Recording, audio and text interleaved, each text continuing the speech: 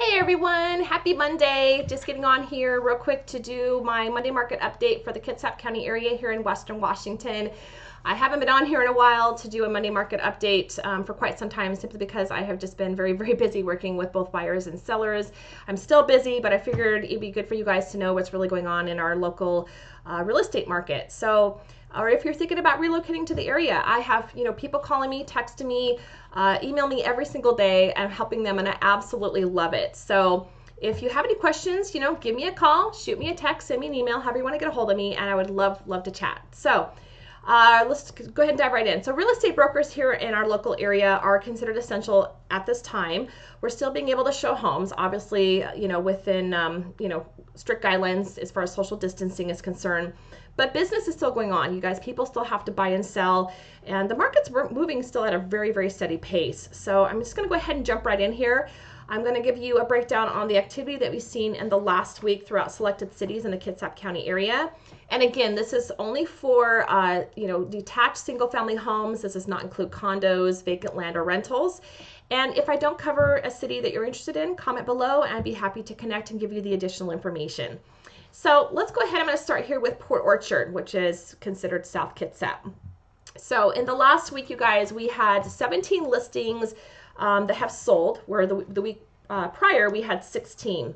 Uh, pending, meaning houses that have gone under contract, we had six uh, in the last seven days, and we only had one the previous week.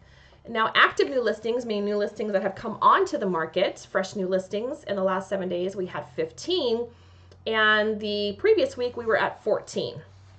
Um, let's talk about Bremerton. Again, Bremerton is a very up and coming area. Uh, in the last seven days, we had seven listings that have sold. The week prior, we had three. Pending in Bremerton, we had uh, four that went pending in the last seven days and two the previous week.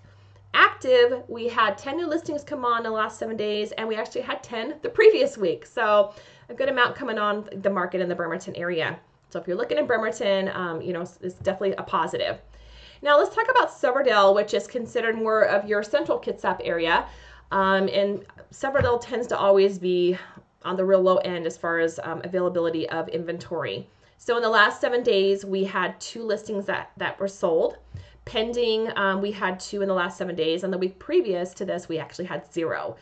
Um, active, we had seven uh, that came on the market in the last seven days and seven uh, also the, the previous week.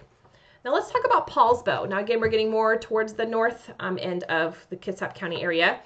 Uh, so Poulsbo sold. We had 10 uh, listings sold in the last seven days and only four the week uh, previous week.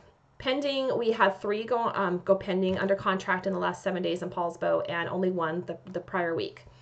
Um, active, we have had three new listings come on in Poulsbo in the last seven days and we actually had five the previous week.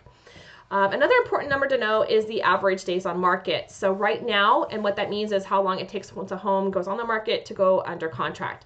The average right now in Kitsap County is sitting at 31. The last time that I did a market update for you guys, um, we were actually sitting at 33. So uh, things are moving, are going, you know, going con under contract even sooner at this point along with uh, the average days on market, it's also good to know what the absorption rate is. You know, how much inventory do we actually have?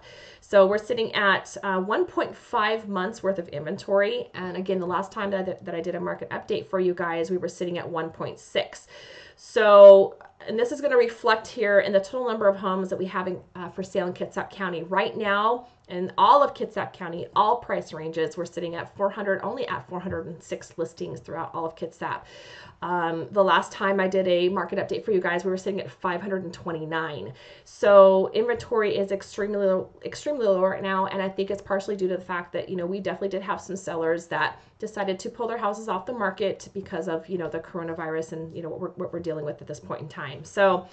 Let's talk about the average um, house price in Kitsap County has not dropped at all. Um, we're still sitting for the average at $385,000, which is up 10% year over year.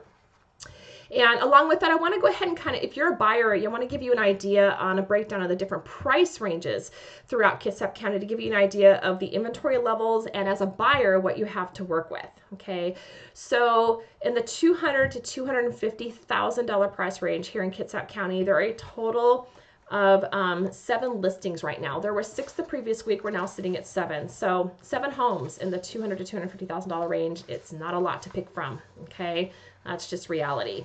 Um, in the 250 to 300,000 dollar price range, there are 15 homes, and the previous week we had 13. So again, that's gone up a little bit. And again, these are numbers for single detached family homes. Uh, in the 300 to 350,000 price range, uh, we have 45 homes. The previous week we were at 52 homes, so that actually has come down a little bit. And if you're in the 400 to 500,000 dollar price range, we're sitting right now at 75, and the previous week we were at 70. So that's actually gone up a little bit. But as you can still see, the number, the inventory numbers are still, you know, extremely low. Now, if you're a first-time home buyer there are many down payment assistance programs available um, that you may qualify for. The traditional 20% down, you know, down payment may not be needed.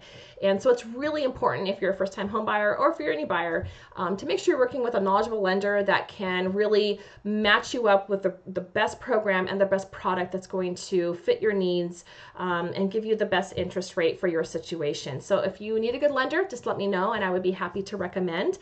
And I, again, I hope this kind of gives you some insight into our local market um, here locally. Make sure that, you know, you want to make sure you hit that subscribe button down below so that you're kept up to date as I send, you know, new videos out weekly on uh, the market update in the area and just generally living in Western Washington, eating, sleeping, you know, living and playing. And um, thank you for tuning in. And I definitely will see you guys next week.